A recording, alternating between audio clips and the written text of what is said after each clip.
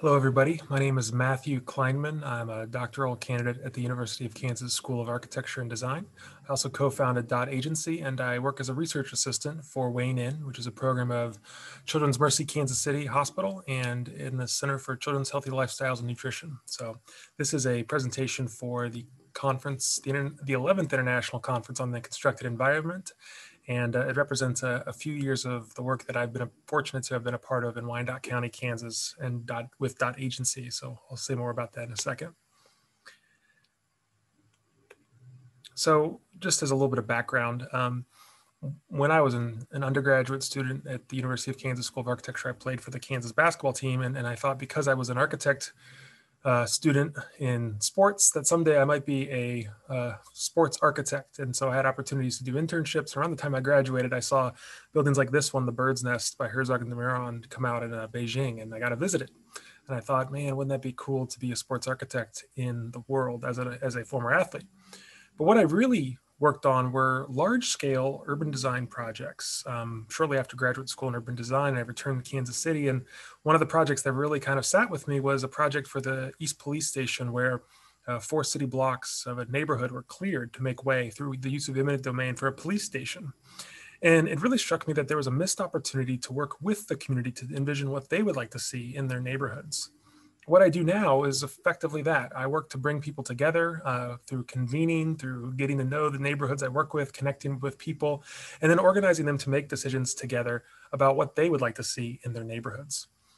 Just as a little bit of background in public participation in design, it is a, a, rich field with lots of history. And for about the last hundred years, there's a few names that stand out and inspire me in the work I do today. Uh, Clarence Perry describes a lot about the, the, the neighborhood unit, the idea that when you get people from a certain size of place together, they can actually really build up uh, their community, the built environment in the, the mutual interest uh, with each other. Um, Sherry Arnstein talks about the ladder of citizen participation, this idea that when the model cities came through in the 1960s and she saw a lot of neighborhoods being planned for, but not with.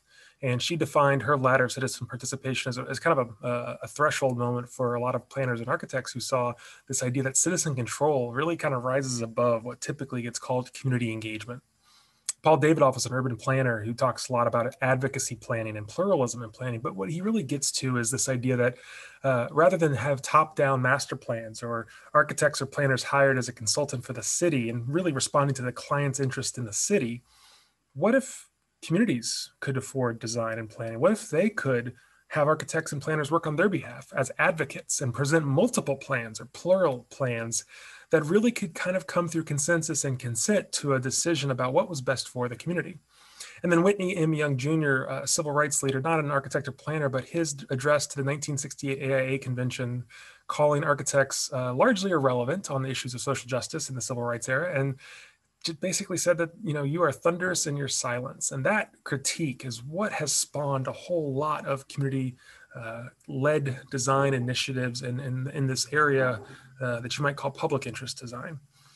Um, but to say a little bit more, there's not just those individuals. There's a lot of institutions and organizations in the paper um, that's on, on the Constructed Environment Conference site. Um, I talk about a few of them, but two that stand out are Arnstein's Ladder, which I mentioned before, talking about non-participation and as you empower community members to be more active participants in the built environment, they rise up through tokenism and citizen power.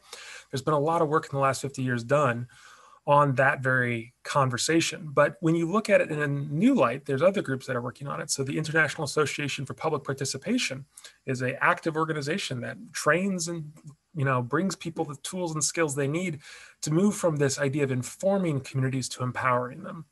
And almost everything you know I've been a part of as an architect, as a designer in the last six years has really kind of been on that same journey, going from informing a community to really trying to find ways to empower them. Now, in this world of public interest design, there's you know some education involved. Uh, there are academic leaders in this field, and these are three that I've had the good fortune to be inspired by, and a couple of them I've had the good opportunity to meet. But Bryan Bell at the Design Corps, North Carolina State, uh, he created the SEED Network, which is a great uh, a framework for socially engaged design. Dan Pitera at the Detroit Center for Design Collaboration has been um, doing incredible work in Detroit and at the University of uh, Detroit Mercy. And Sam Mockbee's Rural Studio, if you ask anyone in the design build world, they would call Rural Studio as kind of the North Star of, of community participatory engagement and design build. And his work has been um, influential for many architects and, and professors alike. Other resources that have inspired this world, um, going back to folks like Stanley King, who looked at co-designing with youth as a process that architects could engage with back in the 1970s. Henry Sanoff is kind of the, the godfather of community planning participation, and his work has been very influential in my work. Um, Randolph Hester worked with others to write this book, Design as Democracy, really exploring the methods about how when you use participatory design right, what you're really doing is practicing democracy. It's letting people come together to make decisions, whether it's participatory budgeting or mapping, anything where participation is at the core of the exercise, you're really allowing people to come together and make decisions together. It's not a yes no vote. It is a how do we create a uh, bring about a creative solution to this problem. And so that is a conversation for designers to be engaged in because how you design that framework is a part of the design process. And then recently there's been incredible work out of Singapore. I think participate participate in design as, as a studio published this excellent book with all the, the methods that they've been using out in the community. And I, I'm really enjoying reading it in the last couple of years. But I'll, I'll, be honest, most of this work has been in a, in a, mostly white profession. And so there has been a new movement towards design justice and uh, planners like James Rojas and his Place It movement. Uh, Place It method is a great way to bring communities together to talk about social just, justice issues in the built environment. And the Design Justice platform and there are a few of them, but specifically Design as Protest Collective, uh, led by Bryan. Lee Jr., D. Nichols, uh, Michael Ford, and um, Ms. Holloway, they're bar none doing the most incredible work right now. And I encourage you all to check out the Design as Protest Collective and, and the demands that they're putting out there. Um, I think they're really moving this field of community design forward. And, and the reason this paper is called Community Health Design is because I graduated with an architecture degree. I went to graduate school for urban design. The difference between those two is the architecture degree was accredited and it came with a certain specific set of requirements and that included the, the books we would read and the lessons we were taught and the, the types of projects we'd work on. And for a few years you do that work and you come away with a accreditation and you go get your uh, diploma and you work for a few years as an architect and now you are a licensed architect. The, the, the society says that we trust you to do this work well. Well i went to graduate school in urban design and none of that exists because urban design as a profession is not a accredited body. Um, but that doesn't mean that urban design still doesn't have a value. And for that same reason, uh, this paper and this video is really about putting forth this idea that community health design ought to be uh, more uh, focused and considered than it currently is in academic and practice as it relates to the built environment. And I'll talk more about how certain projects I've experienced play into that. But specifically, I want to just point at these two pictures that the Congress for International Architectural, you know, Modern Architecture, CIAM as it's commonly known, about 100 years ago, met. And there's a few members of that group that spun off and had their own theories, but the one that speaks closest to me is Giancarlo De Carlo, who spoke about how architecture is too important to be left to architects, that it affects all of our lives, whether or not we're a part of it. And a couple years ago, I was fortunate enough to be a part of the AIA Design Justice Summit in New Orleans.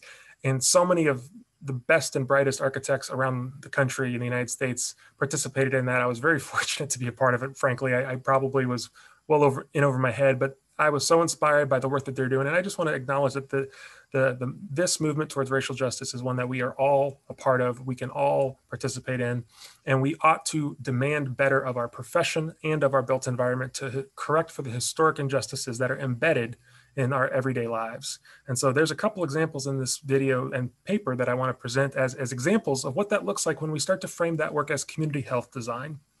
Now, it's a well known fact that our built environment shapes our public health. Whether it's John Snow's ghost maps uh, looking at the cholera outbreak, where he was mapping door by door, canvassing to figure out whether cholera was a function of the bad air of cities or if it was actually about the sewer infrastructure and how that had been contaminated. It might be in the Homeowners Loan Corporation redlining maps, and this map shows Kansas City, the areas in red where the federal government basically said you cannot get a loan in these neighborhoods. But what they didn't do, and though we now know they did, but what they didn't explicitly say was that these were heavily racist maps. And so realtors use them, banks use them to explicitly deny generational wealth to black and brown communities.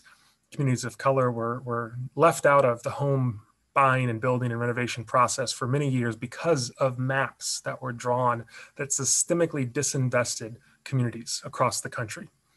And today we see how that has built environment, those built environment impacts have public health outcomes. And so the Robert Wood Johnson Foundation annually or almost every year, publishes county health rankings. And so in 2012, where I work in Wyandotte County and where I live now, um, those county health rankings looked at Kansas City especially, and they found that some cases the difference in Kansas City, Missouri was 14 years. I can tell you that those maps are being updated right now.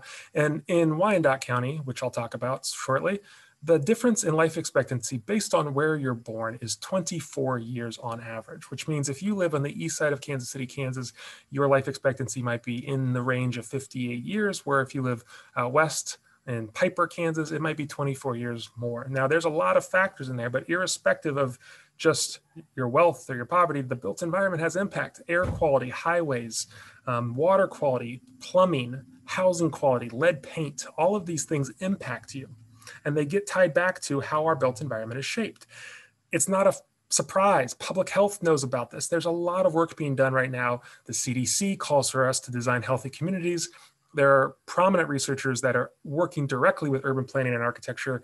I'll just call out a few Andy Dannenberg, Lawrence Frank, Howard Frumkin, Richard Jackson, and James Sallis are all making a very compelling case that the built environment shapes our physical activity and our access to healthy food.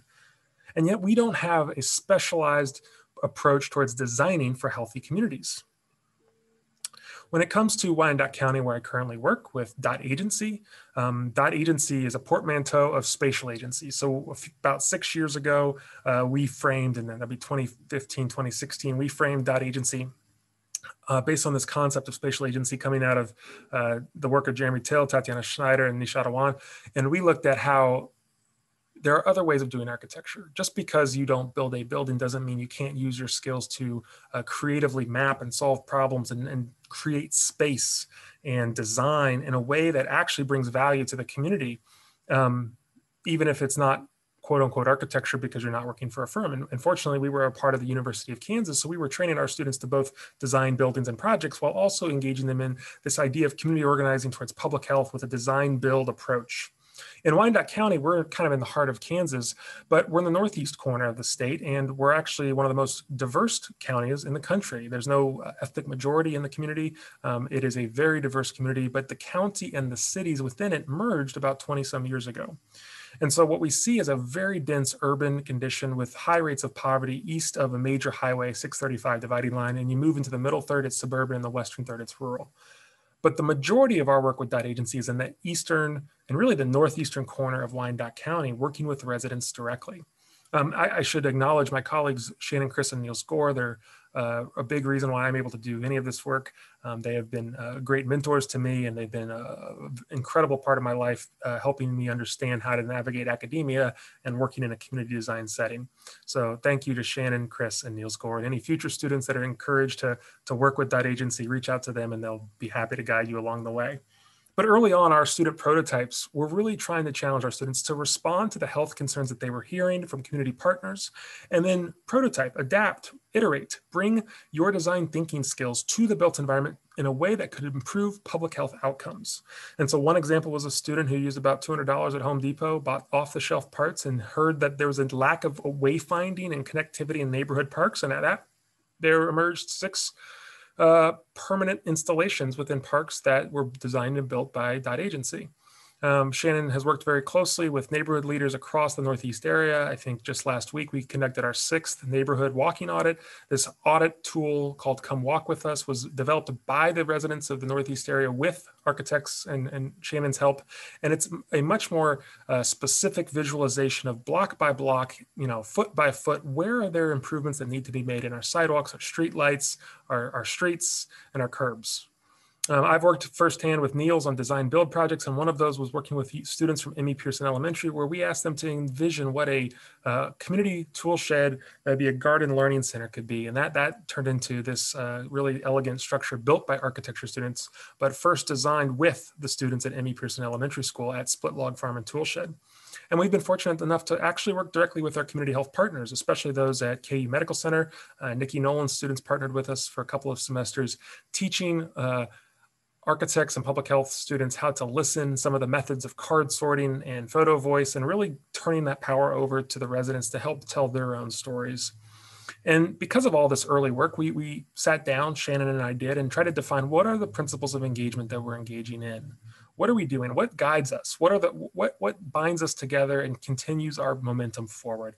And what we thought important to do is acknowledge that this is work that's been done before but it hasn't always crossed over to the world of design. And so we found most influential was the Centers for Disease Control the National Institutes for Health had commissioned a report in 2012, and it looked at the best examples of community engagement in public health. Well, we took that and adapted it. We made it principles of engagement for participatory design. And I would argue that that's now not just participatory design, it's for community health design because what we do is community health design if not anything else. It's it's working with communities to improve health outcomes. Um, but it's a process, and it's one that we realize is somewhat iterative because when you go through each stage of it, by the ninth principle, it's basically saying you got to stick around and you'll see more projects like the one you started on emerge because the relationships get built, trust is formed, partnerships emerge, and new opportunities come along the way to address the next systemic disinvestment challenge in the built environment. And so this is an iterative sort of roadmap that public health professionals have said this is how we should practice public health we try to translate it for architects and urban planners and designers, and we hope that that's a value. For us, what it looks like is we started very early on with this approach in things like the Jersey Creek Fitness Trail Stations. They're called fitness trail stations because initially the community wanted a park bench. This, you know, sprawling park, Jersey Creek, had no place to sit. And so community residents said, well, we would go to the park more frequently to be physically active if we could sit down every once in a while. Well, the park benches that they had weren't in great condition. And so they said, could we get a new park bench? We went to our funder, the Centers for Disease Control and Prevention, and they said no, because seating is sedentary behavior. And so the ingenuity of our architecture students working alongside community members re-envisioned the park bench as a Jersey Creek Fitness Trail Station. And Nils Gore and his students prototyped and built a few and eventually got the funding to build and install five of these along the Jersey Creek Trail. Uh, from this work, we started recognizing that grant funding alone is not enough to solve the historic disinvestment of just one park. There's many parks like this in every major US city, especially those that have been disinvested. And so we looked at this idea that we could organize our communities together across racial, ethnic, community boundary, territorial lines, and tried to define a corridor called the Healthy Community Corridor that represented over half the county's population, living in about 12% of its geographic area where more than half the county's parks were, but that is not where more than half the county's park investments were. And so we would hear firsthand about how certain parks were invested in, where marinas and roads at the, the, the regional jewel parks would get millions of dollars, but neighborhood parks that people could walk to wouldn't receive the same amount of investment. so we took it upon ourselves to start to lift up those causes, help promote those events, create new events, and create new opportunities for people to be physically active we did this work not on our own volition, but partnering directly with community leaders in this space. I'll lift up two. Roger Crawford on the on the right, looking up at the man in purple, is a county commissioner, um, was a great leader with New Bethel Church Community Development Corporation, and continues to be a champion for all health equity projects throughout Wyandotte County and on a national level our other community partner is Rachel Jefferson, who has been a great ally in this work. And uh, since our initial Rocky start and the image on the right, I think she might have called me out in a meeting because I got something wrong on a map. She is now one of our best allies in doing this work together. And she runs Groundwork NRG, uh, stands for Northeast Revitalization Group, which is a health equity and environmental justice organization that I'll talk about here in a little bit. But Broderick had this idea that if you actually looked at how many people could get to Jersey Creek, you might find that there's a public health incentive for the city to invest more in those parks. And sure enough, when we drew those maps, we found that about 20,000 people live within walking distance of the Jersey Creek Park. So visualizing that, building that map brought power to our community partners who now had demands and could show that the maps backed them up. So public health data has utility in the built environment in this way. But we also started noticing that there was a disinvestment from things like ADA curb ramps that were installed because of the consent decree. Uh, the accessibility features were great for the curb, but there was no sidewalks. And so policy shapes, the politics and policy also shape our built environment and how that affects health. In the creek itself, we noticed that stormwater sewage drains out into the creek. And so when it rains too much, Jersey Creek becomes a raw sewage dumping area and sewage runs along to the river. There's a multi-million dollar plan that the EPA has required Wyandotte County to do to remediate this issue. But unfortunately, it's not happening really upstream. Literally, it's happening before it hits the river. And so a lot of our work is about advocating to work with the community residents because Broderick and I have heard firsthand, and we've done community health design workshops, that kids are running into the creek because a basketball rolls down there from a basketball court and then they're taking that ball and going back and playing with it with all of that stuff on their hands. And so this is an environmental justice issue. It's also a public health issue. And these are the types of things that advocacy and mapping and design can speak to. Specific to Jersey Creek, we were fortunate to work with community partners and, and those that I mentioned earlier, but also worked with Gehl Institute. A, it was a short-lived institute coming out of Jan Gehl's urban design firm, one of the best urban designers in this in the world. Um, but they had a method for doing park observations and public space observations, and we applied, and we were fortunate to be one of the three organizations across the country to participate with them in this. We hired community mobilizers to measure the rate of physical activity and access to spaces across the park. But we noticed these other things too. We noticed that signage was extremely negative. It was telling people to stay away, danger, warning, no, basically saying no fun. And the signs that were there promoting the park were broken, just like the park benches. And we learned later that the park benches were broken because when they were done by a community group originally with no long term maintenance plan, the city wouldn't touch them out of a concern that there'd be a liability once they take possession and ownership of them that was the story that we were told. And, and as advocates, we have since corrected this and built new benches. But it's one of those things that until you're in the room speaking the same language as architects and planners and designers, it's sometimes hard to get that information out. And assumptions and, and misinterpretations are easy to have um, when you're in the built environment space. And so there was a lot of misinterpretations about the types of work that we were doing before we started working and trying to understand how the built environment was definitely impacted by policies, but then also could impact public health we also taught ourselves some stuff. We, we didn't realize, but if you looked at just demographics, you might have assumed that one of the park shelters we were working at was in an area that was predominantly black. But because the school district is predominantly Latino, we had a much larger population come out for a, a, a young birthday party, and the birthday boy sleeping here. I actually got to know the, the family and participated by being their informal photographer. So building trust through documented storytelling is a great way that community health design can train young aspiring professionals to be there to help tell the stories, to, to share and be an accessible resource. And so what was incredible is the lighting, the balloons, the tablecloths, some of the tables themselves were brought by the community. The community was reshaping the space to encourage active use of a park, which encourages physical activity. In addition to the methods we were given by the Gehl Institute, we added one more, which was a participatory mapping tool. It wasn't well thought out, but we tried the prototype a tool of using the 12 urban quality criteria that Jan Gehl initially, you know, created, but simplifying them so that they'd be accessible in, in the language and in the framing of them to any community participant to be able to tell us where would they like to see certain installations go. And it worked. We had seniors from the Parkwood Colony Neighborhood Association. We had youth coming to the Heathwood Spray Park, coming out and explaining to us through the use of this participatory mapping tool, which we framed as a game, what they would like to see in their neighborhood. Where would things go? And we heard so many stories stories about how sidewalks that were broken were dangerous for their kids to walk on, but that was the only way to get from the parking lot parking lot to the park. We heard about areas that the brush had overgrown, which was unsafe. Kaboom Playgrounds had installed a new playground, but no parents wanted to let their children go there because they would have to cross an area that was considered a, a drug dealing space, and that was not well maintained. We also enlisted our friends at Youth Build Kansas City, Kansas. I, I, worked for them shortly after this project as, as an employee, but our friend Spark Bookhart, who's the executive director there, is featured in this photo facing the camera. Uh, Spark had a, a, wealth of young people in the community who really wanted to make a difference, and they saw that the construction trade skill was their way to get their GED and get a couple years of training and employment and go off into the world.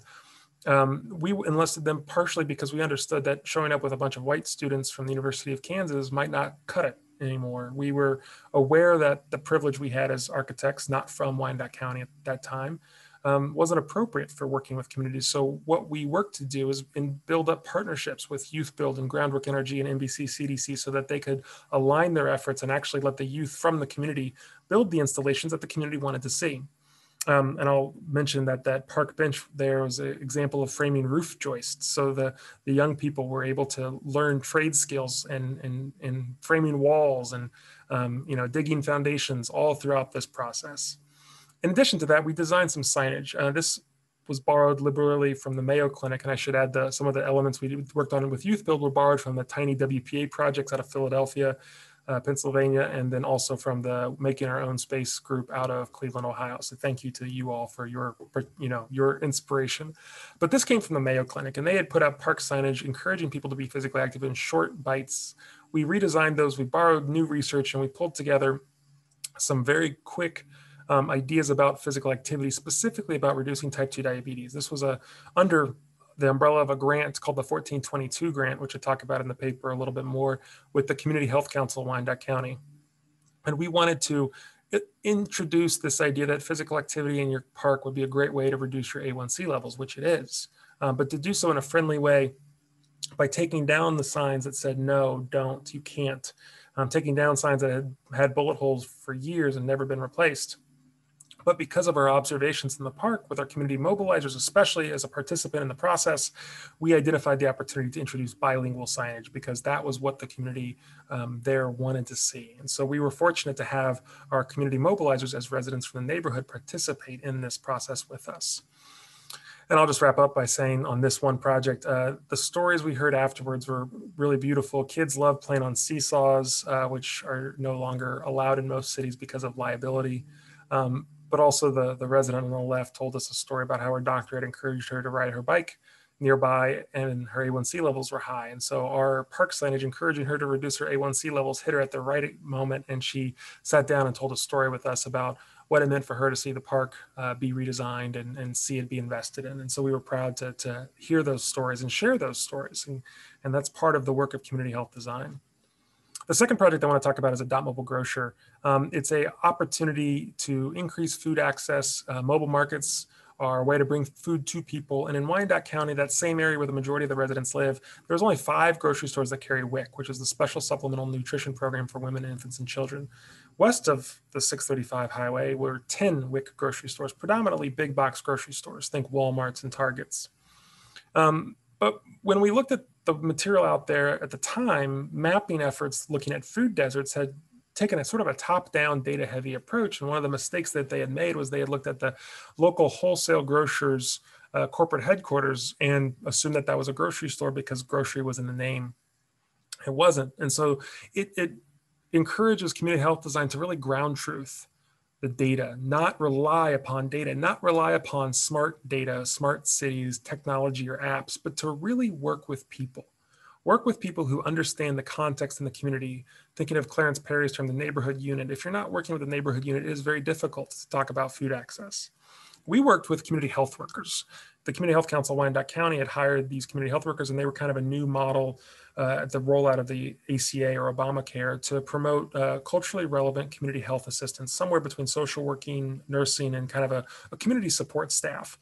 Um, they helped us redefine what the food map of Wyandotte County would look like. And we uh, pr printed thousands of booklets that were handed out in four different languages, showing over 120 destinations, community gardens, urban farms, uh, pantries, anywhere that you could find food in Wyandotte County, the food map could participate with or you could you could find it using the food map. What that led us to was working with Humana Health Insurance. So healthcare started to notice the work we were doing, and they wanted to see if we would be interested in solve some of the challenges we were running into in terms of increasing access to WIC. And the idea of a mobile market came to us, and we worked to develop it further. I did the drawing on the left and the participatory engagement and budgeting on the right. And so we started visioning this idea of a mobile market, what it could look like in reality using architecture design school, design skills, and then using participatory mapping and planning to evaluate the feasibility of the idea. And that gave way to dot agency work where students in architecture and design build started to fabricate. Eventually, we were able to buy a truck through health grant funding and through more partnerships and more healthcare dollars, we were able to fully fabricate a mobile market, which was refrigerated. Uh, Nils Gore deserves a lot of the credit here. He built it and it was his studio that came up with a lot of the prototypes for how the shelving and different elements of the mobile market would work. My responsibility was much more aligned with how the mobile market would actually operate. Initially, uh, the idea was to get a mobile market community council. So we recruited residents using Facebook, social media flyers, all kinds of emails, to bring residents to the table and have them help make decisions. Initially, this was with a nonprofit as the backbone organization. Um, and what we introduced was a model of shared governance, or also known as collaborative governance. But it's a vehicle, uh, it's pardon the pun, that community health design ought to be looking into. It sort of replaces the idea of a board structure to some degree, um, because what it does is it puts those who are most affected by decisions made for them in the decision making chair. And so there are still people with authority and power who are part of the community council and can uh, speak to specific issues, but it was residents who had decision making power and they made decisions through consensus and consent. There's a lot more research and a lot more to be said about that process. But just know that for community health designers, sometimes designing by committee is not so bad because we had community health, uh, you know, experts from their neighborhoods talking about how it would be to work in certain environments, work with certain community groups, where locations should be, where the map should go. They changed the zoning ordinances uh, to let mobile markets park in non-commercial areas. They invited more community participation to tell us what food items to stock. Having Mobile Market Community Council and residents lead the mobile dot mobile grocer. They named it dot mobile grocer after the idea of Wyandotte County made this project sustainable. When the nonprofit eventually dropped out, it was the Mobile Market Community Council that stuck together, formed their own nonprofit, and they continued to operate the Dot Mobile Grocer. Since October of 2020 till about April 2021, they've handed out over, I think, 15,000 USDA food to uh, farm to families food boxes, um, and that's a at a value of a little over $500,000 provided to Wyandotte County. The community council made those decisions. They got the mobile grocer on the road. And the photo on the right illustrates them advocating for more food access in their community when they had Sharice, Congresswoman Sharice Davids come to visit. So empowering your community is a part of the community health design process, helping them become the leaders, bring the methods and decide not just what's right for their community, but working to advocate for more communities to have access to healthy food, safe places to play, streets they are working towards uh, launching the Dot Mobile Grocer as a full service grocery store. They actually just received their business license today. So, congratulations to the Mobile Market Community Council. And their mission is to bring fresh, affordable food to Wyandotte County. The third and final project I'll talk about is Project Pipeline KC. In 2014, I was working as an uh, adjunct professor of architecture at the University of Kansas, and I applied to a community engagement fellowship in New Orleans at, with the architecture firm Eskew Dumez and Ripple. And so at the time, I was really curious about community engagement. I had just come out of the architecture practice, trying to think, how do we do this thing better? And so I learned a lot. And so Eskew Dumez and Ripple, thank you for your support. I learned sometimes how it is done poorly. Developer, not EDR, uh, had had a meeting where the community engagement occurred literally at the 25th hour. Uh, the project was at 99% construction deliverables. And the residents were invited just so that they could have a check mark on an attendance slip that they would submit to the city. On the other hand, architects talked about their favorite experience was redesigning a uh, new church that had been wiped out by Hurricane Katrina, but it had to merge two different racially diverse congregations. And so they used a series of participatory design workshops, educating the community about church architecture history, and bringing people together over a shared experience of building something new. And so the idea that participatory design alone um, there's merit to it, but really seeing something be built. They describe, those architects describe seeing tears in the eyes of people who saw their voice, their vision translated into the architecture of the built environment. And so it taught me a lot that things need to be tangible for participatory design and for community health design to have a lot of impact. But what I did not expect was that my desk mate while I was working at EDR for the summer would be one of the biggest leaders in the na- nation in terms of the movement for racial justice as it relates to the built environment. Bryan C. Lee Jr. is a uh, architect. He's he's the founder, a co-founder with Sue Mobley of uh, Colloqate, a wonderful design firm down in New Orleans, doing incredible work. Check them out. Um, but Bryan took off after we met. He, he really deserved to be in the fellowship role, not me. Um, and I learned from him. And so Design Justice is a platform that he has helped cultivate and develop. Um, he hosted in 2018 the Design Justice Summit that I mentioned earlier. And his work is incredible and will continue to move the field forward and working with uh, the DAP collective. A couple years ago, Bryan called me up and said, We got to do a project pipeline in Kansas City. Project Pipeline is a curriculum that he helped create um, educating youth because 2% of all registered architects are Black in this country. And so Project Pipeline was about creating new opportunities for youth at a formative age to be introduced to design. I know I was introduced to design at seventh grade, and that introduced me to a whole world. Um, Project Pipeline does that for those that might not otherwise have that opportunity. But it also serves the community by bringing young creative talent to mobilize around good ideas that can be designed for and with the residents that live in those neighborhoods We organized Project Pipeline KC in about a month. We brought 30 residents together, architects from the NOMA chapter, National Organization of Minority Architects in Kansas City, and the students from the NOMA chapter at the University of Kansas, together with our community partners who introduced the issues of redlining, racism, gentrification, all of these things that impact their community today. The students had one day to design their response to the disinvestment through creative built environment solutions. They worked together in teams uh, at different age brackets. They came up with incredible ideas. They were mentored in this work through the project pipeline model with architecture students who look like them, who came from the same neighborhoods that they came from. And they worked together to create these incredible ideas that are very powerful and moving. Um, the second day, we built them. We worked with our friends Youth Build KCK. Again, remember my comment about long term engagement? This is why we were able to, in one day, translate the designs that they had into construction prototypes that the youth themselves built. They learned about how to safely use power tools, they created their own installations. And in the second day, they were done with a rapid prototype of an idea. I'll just highlight two of them. Youth from a local high school, uh, young boys had this idea that had this experience that sometimes when things flare up at the school, the aggression can lead towards gun violence. Well, they wanted to respond to that, so they created a, a water balloon fight station that would allow for them to uh, creatively address this issue. And so that was used by the youth at the end of the project pipeline. It was a really beautiful moment. There's a video for this. Um, the other group was young people, and they decided that they wanted to uh, create a movable crossing guard that would allow for them to safely get to and from school because in many of their neighborhoods there were no sidewalks for them to walk and they were forced to walk in the street. So the movable crossing guard idea emerged as a concept in their original site planning and then became a full-scaled built prototype. Those youth were exposed to architecture and design and this letter here um, talks about how it helped sort of inspire them and they want to continue to do it. And I'm proud to say that NOMA KC is leading that charge and keeping Project Pipeline as a staple in Kansas City and will host the next Project Pipeline this fall in 2021. And so, this idea of diversifying the profession, bringing more different perspectives to the table, not just for community benefit, but also within the profession itself, so that more people can have an impact on the built environment from different perspectives. And this work continues because right now, Groundwork NRG has a green team. It's youth environmental justice advocates, and they're responding to one of the demands that the DAP Collective, Design as Protest Collective, made, which is to end crime prevention through environmental design.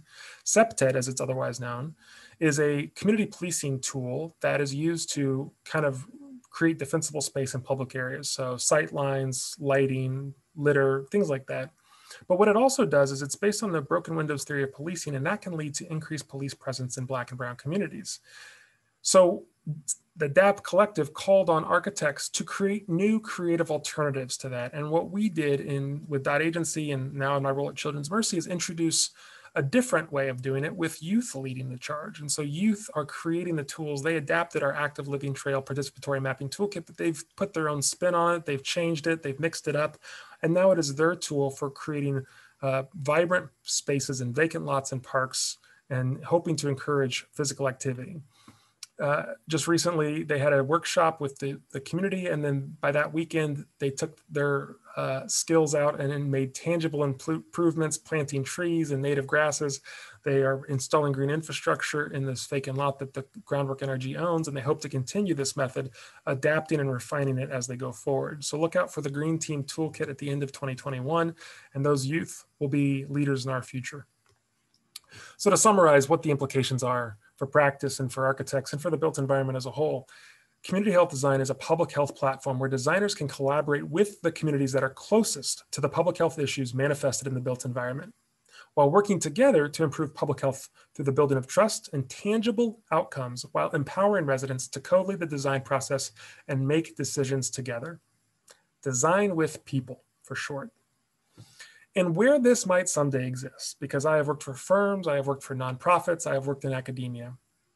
I think it will make sense for community health designers and those practitioners willing to invest their careers into making this field happen is look at healthcare. Look at hospital networks because the IRS requires that nonprofit hospitals follow a community benefit standard, meaning that to maintain their tax exempt status, they must demonstrate and provide benefit to people that are represented as the community that they serve, and it must be for public and not private interest. There's no more tangible, community based approach towards improving health in the built environment than in taking this sort of community health design approach. And there's no better systemic funder that can support these efforts than hospitals, I believe, and healthcare institutions who are aware, and they have been for a long time, that the built environment impacts public health.